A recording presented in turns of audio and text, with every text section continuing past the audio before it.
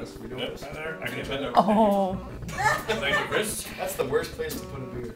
Uh, That's the only only good flat spot I got. All right, well, let's try this. Uh, shine. Woo!